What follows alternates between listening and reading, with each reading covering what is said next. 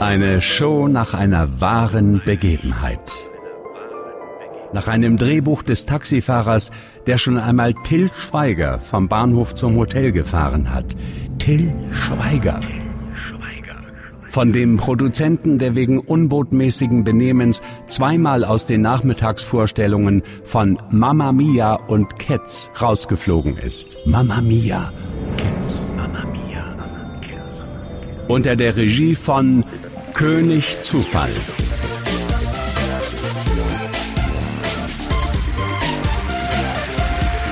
Lukas Auswärtsspiel.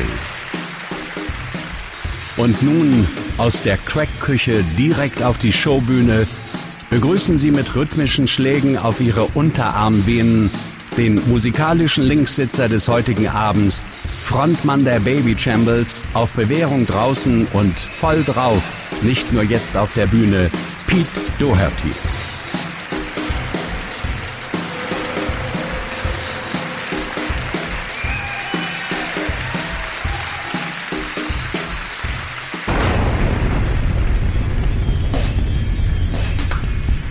Sparen Sie sich den mitleidigen Applaus auf, denn hier kommt Ihr Gastgeber. Ein eitler Pfau. Der Mario Barth für alle ohne Abitur. Unehrenhaft aus der D-Jugend der Sportgemeinschaft Aum und Fegesack entlassen. Er ist als Kind in einen großen Kessel mit Jürgen Klinsmann Panini-Bildchen gefallen. Er ist ein Showman und hat sich für seinen Auftritt etwas ganz Besonderes ausgedacht. Hier ist Jan Böhmermann.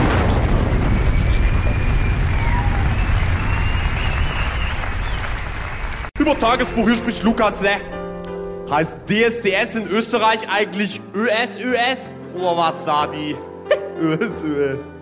Österreich sucht. äh, Was da, ne?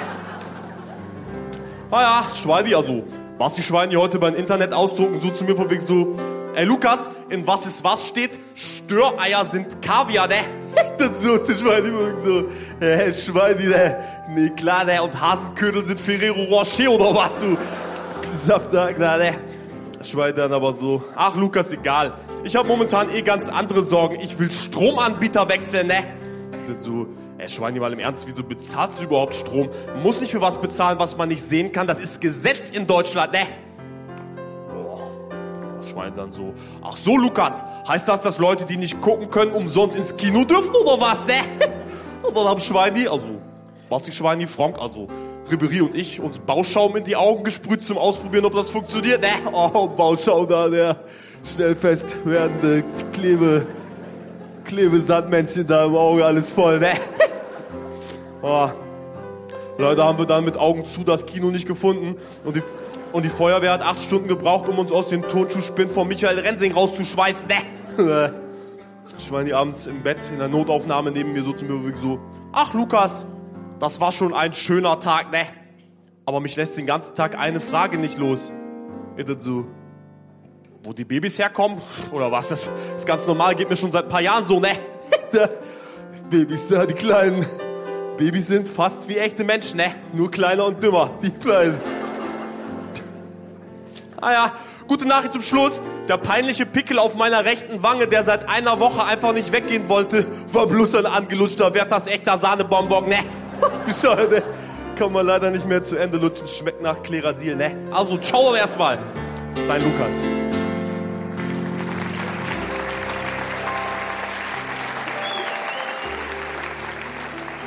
Der heutige Abend gliedert sich in zwei Halbzeiten, die erste und die zweite Halbzeit. Ähm, in der ersten Halbzeit geht es ein bisschen um die Europameisterschaft und genauer in der nächsten Tagebucheintragung über die unmenschliche Entscheidung, wer bei der Europameisterschaft nicht mitmachen darf. Und diese Tagebucheintragung beginnt wie folgt. Lieber Tagesbuch, hier spricht Lukas, ne? Kleine Engländer und kleine Rehe heißen Kids, ne? ah. Ja. Ah ja. Schweini also. Basti Schweini heute Morgen ein bisschen zu mir zärtlich, zärtlich angekommen, mich so ein bisschen umarmt und mir so ein bisschen ins Gesicht geguckt und mir so als Streicheln gewesen, gewesen und mich so ganz verständnisvoll in die Augen geguckt und er so zu mir wegen so, ey Lukas, Sag mal, meinst du, oder ist es der Regen, der von deiner Oberlippe perlt? Sag mal, Holz, du wahr oder ist es ein Popel, der von deiner Nasenspitze tropft? Komm her, ich küss den Popel weg, von mir hinab er salzig schnell. Du so, ja, Schwein, du hast recht, ne? Es sind Tränen der Freude, weil Helmi, also Lord Helmchen, Patrick Helm ist da und Jeremy, also German Jones und Marinchen, also Marco, Marinchen da, der gepunktete, äh, müssen von ihren Eltern aus dem Trainingslager abgeholt werden, ne? Oh, bescheuert, ne? Peinlich, ey. Das letzte Mal, dass ich von meinen Eltern wo abgeholt wurde, war, als ich auf Klassenfahrt in achte Klasse aus Versehen den Hamster mit einem Baseball verwechselt habe, ne? Bescheuert, ne? Kann ja mal passieren nach vier Gläsern Spezi, ne? Oh, krass, ey. Spezi, ne? Äh, Trick ist übrigens bei Spezi immer nur die Fanta-Hälfte trinken, ne? Knallt sonst zu sehr da, ne? Oh. Ey, mal ernst, eine achte Klasse war schon cool, ey. Ich war die ganzen drei Jahre der Einzige über 18, ne? Schwitzt ganz genau, die Kleinen. Aber ansonsten ist Stimmung in DFB-Nationalmannschaft zurzeit nicht so gut, weil wir haben Läuse, ne? Yogi, also Yogi Löw so, so, so, so Jungs, ne? Das kann passieren und muss nicht bedeuten, dass ihr euch nicht gewaschen habt, ne? Schweini direkt sich gemeldet so. Aber Yogi, ne? Ich hab mich nicht gewaschen, ne? Schweini da, ne? Die, die Hygi, Hygiene, Hygiene da, ne? Aber ich dann so, ey, Yogi, stimmt, ne? Das bedeutet nur, dass Pfosten, also Pfosten Frink seine Zottelhaare nicht gewaschen hat, ne? So eine Wuschelmähne ist ja für Läuse genauso ein Paradies wie das Smallland bei Ikea für David Doko, ne? Die Doko, da eine kleine Kugelrunde.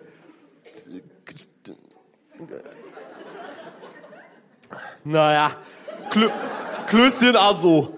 Miro Klößchen dann aber so. Lukas, ne? Ich hab echt keinen Bock auf Läuse bei EM, ne? So, ey, Klößchen, ne? Keine Sorge, auf deine peinliche Frisur gehen die nicht drauf, ne? Auch Läuse haben Stolz, ne? ne. Ah, ich muss jetzt los. Schweine wird sich gleich sechs Beefy komplett in die Nase stecken. Ich mach Bild, Leserreporter-Foto und von den Geld kaufen wir uns tragbaren Fernseher, damit wir beim Arbeiten bei Europameisterschaft kein Deutschlandspiel verpassen. Ne, also, ciao doch erstmal, dein Lukas.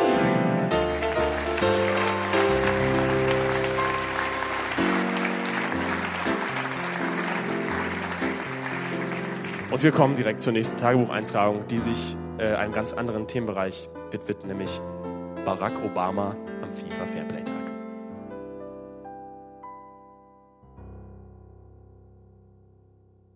Liebes Tagebuch, hier spricht Lukas. Quatsch. Lieber Tagesbuch, hier spricht Lukas. Auf Stempelkissen kann man zwar ganz bequem schlafen, aber am nächsten Morgen ist die ganze Backe schwarz, ne? Ja. Das ist bei Barack Obama ja auch so, ne? Und der ist sogar Präsident von USA geworden, ne? ah ja, heute ist FIFA Fairplay-Tag, ne? Fairplay, was ist das denn, ey? Vor, vor und nach der Blutgrätsche immer schön Bitte und Danke sagen oder was, ne? Schon Fairplay da, die. Überhaupt, was heißt FIFA, ne? Voll FIFA, voll Idiotenverein oder was, ne? Ah. Schweini bei Strategiebesprechung heute für unser Gamelink Dialogkabel Tetris Turnier so zu mir vorwiegend so, ey Lukas, ne? Du kennst dich doch aus mit Finanzen, ne? So, so, stimmt, ne? Auf mein Konto ist immer mindestens 5000 Euro Soll, ne? Schwein dann so, oha, nicht schlecht, ne? Soll, soll man ja haben, haben, ne? Dann kannst du mir bestimmt auch erklären, was diese Bad Bank ist, von der zurzeit alle reden, ne? So, oh, wahrscheinlich die Sparkasse, bei der Batman sein Girokonto hat, ne? Der maskierte Vollidiot da, ne? Bank da. Ah, gut, egal, ne? Kalle, also, Kalle Ruben, Rubeninge, ne? Ruben, Ruben. Na, ne, ne, lustigen Namen da, ne? Ja.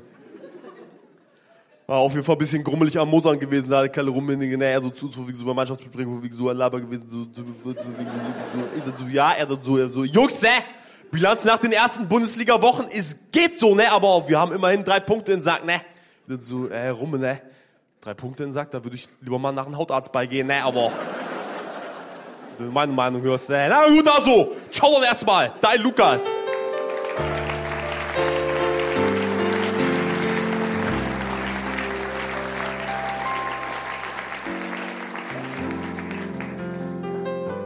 Bevor es ins Trainingslager geht für die Europameisterschaft, werden noch ein paar Testspiele absolviert. Das letzte Testspiel für die deutsche Nationalmannschaft vor der Europameisterschaft in Österreich und der Schweiz ging gegen Serbien und davon handelt die nun folgende Tagebucheintragung.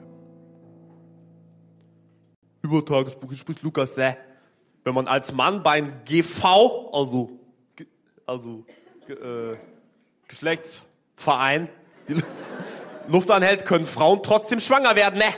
Aber was ist, was ist, wenn sich, was ist, wenn sich der Mann noch zusätzlich ein Kondom über den Kopf zieht? Überhaupt mal ungerecht, ey. Wieso gibt's für Mädchen eigentlich die Pille danach, aber für Jungs nicht das Kondom danach? Oh. Oh, Testspiel gestern gegen Serbien verloren, ne? Scheuert, ey. Yogi also Löw hinterher so. Ey, Jungs, ne? Wirklich, ey, die Abwehr hat wirklich nicht gut ausgesehen, ne? Hey, Yogi, ne? Das ist so, so nix Neues, ne? Die hässlichen Vögel da in der Abwehr, ne? Vielleicht schminken wir Merte Sacker und Christoph Professor Dr. Metzelder nächstes Mal ein bisschen vorher, ne? Die Vollidioten irgendwie mit Schakal, Kajal, Kajalstift da und Glidschatten oder irgendwie sowas, ne? Na, ich hinterher in der Kabine so zu, zu, zu den Jungs von wegen so ein bisschen Motivation gemacht, von wegen so, ey Jungs, ne? Ich war auf jeden Fall der Michael Gorbatschow von Nationalmannschaft, ne? Als ich gekommen bin, gab's die Wende, ne? Laber so, Philipp Lahm dann so, ey Lukas, kann sein, aber auf deine Stirn ist nicht die Landkarte von Phantasialand wie bei Michael Gorbatschow, sondern ein Post-it-Zettel mit deiner Adresse und deiner Telefonnummer von, von deinem Manager drauf, damit du nicht verloren gehst, ne? Dann so zu Lahm von wegen so, ein bisschen so, so, so provoziert hingestellt, von wegen so, er ladet ganz schön aufwirft, wie ich so zu ihm von wegen so, verpiss dich! Ich weiß genau, du vermisst mich!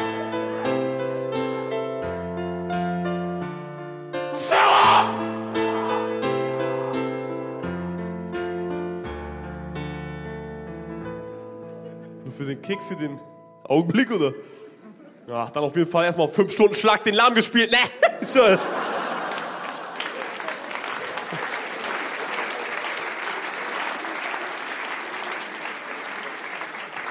Zwar keine drei Millionen Schleifchen bekommen, aber Applaus von David Rocco, ne? Der Klatscher wieder, naja. Vor dem Spiel war übrigens noch ein Mädchen in der Kabine, ne? Also nicht Jürgen Klinsmann, sondern die Kanzlerin, ne? Also Frau Dr. Äh, äh, Angela, äh, hier. Schwein, die wollte die aus Spaß mit einem nassen Handtuch bisschen auf den Po klatschen, ne? Und sie mit ihrem Gesicht in Entmüdungsbecken untergluckern, aber leider haben ihn, leider haben ihn vorher die großen Männer mit den Sonnenbrillen umgeworfen und die Arme auf den Rücken verdreht, ne? Bicker, Alter, die glauben, die dürfen alles oder was, ne? Na gut, ich muss jetzt bloß erste Hilfe leisten, ne? Luca, also, Luca Toni hat einen Prittstift mit einem Labello verwechselt und, und sitzt darum jetzt in Diskothek P1 mit zwei Gruppis an denen sein Mund festgeklebt, ne? Also, schau doch erstmal dein Lukas.